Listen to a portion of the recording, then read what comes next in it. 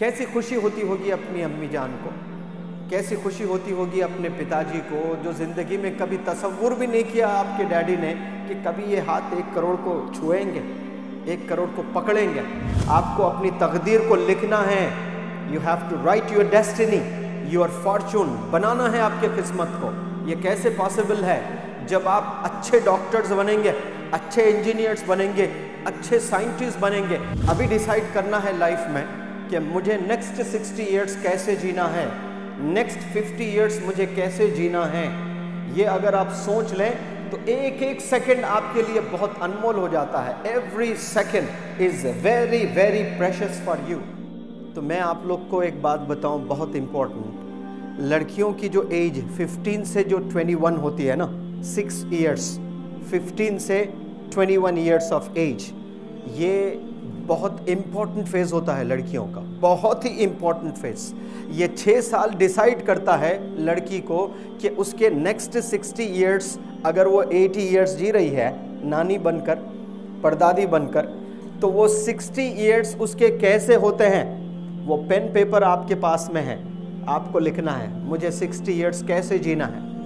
अगर आप तालीम अच्छी हासिल नहीं करते हैं, आप अपने एकेडमिक अकम्पलिशमेंट्स आपके पास नहीं हैं तो 21, बाईस तेईस साल के बाद आपकी शादी होगी।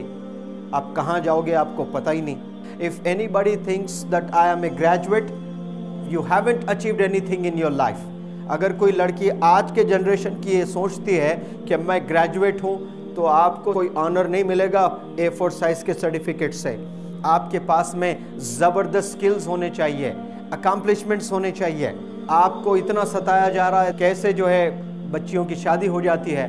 उनके इन लॉज उनके husband the way they torture the young girls कई सारे बच्चियाँ सुसाइड कर लेती हैं। कई सारे बच्चियाँ जो है वापस अपने घर आ जाते हैं। खून के आँसू रोते हैं पेरेंट्स कितनी खुशी से, कितनी मेहनत से 20-20 साल 25 साल मेहनत करके, पैसे पे पैसा, पैसे पे पैसा जमा करके एक बाप बच्चे की शादी करता है और शादी के तीन महीने के बाद ही उसको पता चलता है कि मेरी गुड़िया के साथ टॉर्चर हो रहा है, मेरी बेटी के साथ में जुल्म हो रहा है, मेरी बेटी को मारा जा रहा है, खाना नहीं दिया जा रहा है।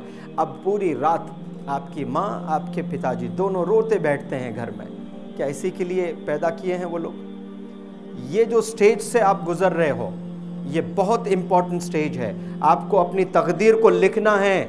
You have to write your destiny your fortune बनाना है आपके किस्मत को। ये कैसे पॉसिबल है? जब आप अच्छे डॉक्टर्स बनेंगे, अच्छे इंजीनियर्स बनेंगे, अच्छे साइंटिस्ट बनेंगे इमेजिन करो, आप लोग एमबीबीएस कोर्स कर रहे हैं और उसके बाद यू असेंबली एग्ज़ाम आपने लिखा है। और यूएस में आपको जॉब मिली है। Do have any idea about the salaries of the doctors in America आप दसों करोड़ हंड्रेड्स ऑफ़ करोड़ कमाने लगेंगे। कैसी खुशी होती होगी अपनी अम्मी जान को? कैसी खुशी होती होगी अपने पिताजी को, जो ज़िंदगी में कभी तस्वुर भी नहीं किया आपके डैडी ने, कि कभी ये हाथ एक करोड़ को छुएँगे, एक करोड़ को पकड़ेंगे। एक लड़की आसाम की यूएस जाकर करोड्स ऑफ़ रुपीज़ कमा कर यहाँ न जाने कितने स्कूल्स इस्टेब्लिश कर पाएँगे आप। अगर आप एक अच्छी डॉक्टर बनेंगी रिनाउंड डॉक्टर बनेंगी, आप लोगों की मदद कर सकती हैं। आप घर चलाने वाली बनेंगी, आप लोगों को इंस्पायर करने वाली बनेंगे। लेकिन ये अपॉर्चुनिटी आपके पास कब तक है? ओनली 21 ईयर्स 21 ईयर्स एक बार क्रॉस हो जाए आपके पास तो आपको कामयाब होने के चांसेस सिर्फ़ 10 परसेंट होंगे, बमुश्किल 20 परसेंट कितने? 20 परसेंट एटी परसेंट चांसेस है आपको मस्त ज़िंदगी जीने के। कितने परसेंट चांसेस है आपके पास में?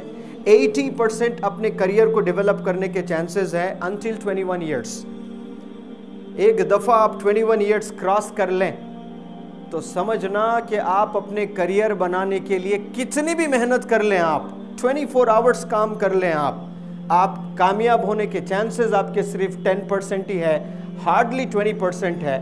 अब वो 10 परसेंट कौन होते हैं? वो एक्सेप्शनल्स होते हैं। वन इन ए मिलियन कोई एक मिलियन में एक लड़की होती है, वो कुछ ऐसा वंडर कर देती है, लेकिन majority of the girls cannot accomplish their goals why क्योंकि ये जो गोल्डन पीरियड से गुजरती है लड़कियाँ, इसमें अगर आप संभल जाएँ, आपका ट्रीटमेंट आप खुद सही कर लें उसके बाद ज़िंदगी आपके हाथ में है।